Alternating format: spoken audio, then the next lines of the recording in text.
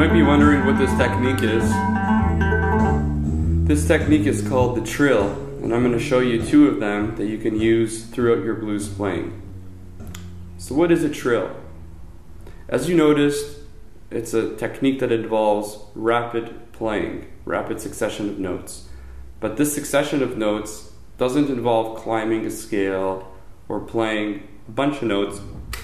It involves playing two notes and it involves a hammer on, a pull off, followed by many more hammer ons and pull offs, and you stop when you think it's a good time to stop.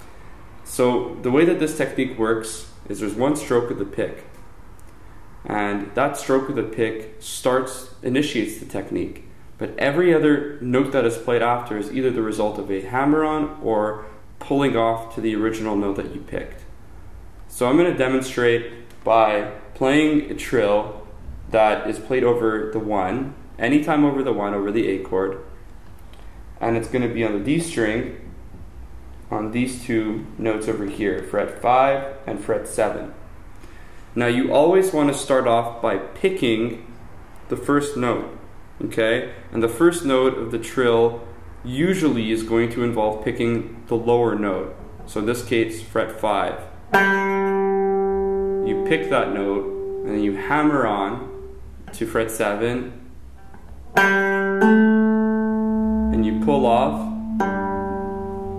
and you hammer on, pull off and hammer on, pull off and hammer on. And when you do it quickly, you're going to notice that there's always going to be enough residual sound for the hammer on and pull off to actually work. So you want it to be balanced and you want the time in between each hammer on and each pull off to be equal equidistance. So it sounds like this.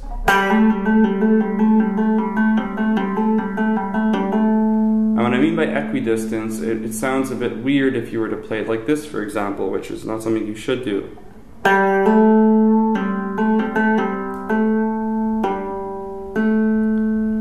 Sounds a bit strange. You want it to be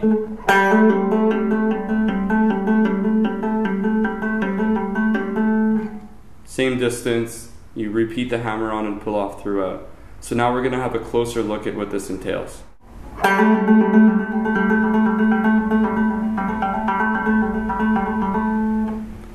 So remember, you're plucking the first string, hammering on, pulling off, then continue.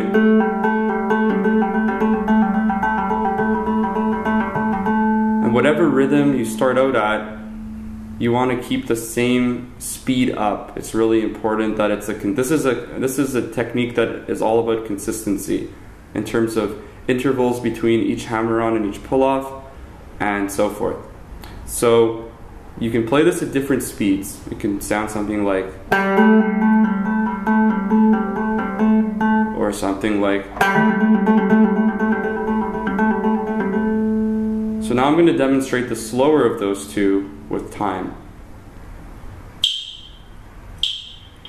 One, two, one, two, three, four.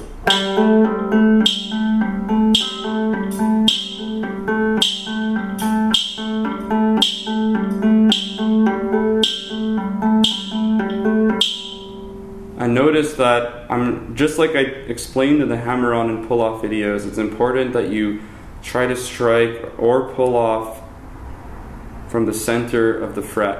You don't want to do something like, you know, once you start getting too close to an actual fret, it kind of cuts the sound and distorts it a little bit, and you want to avoid that.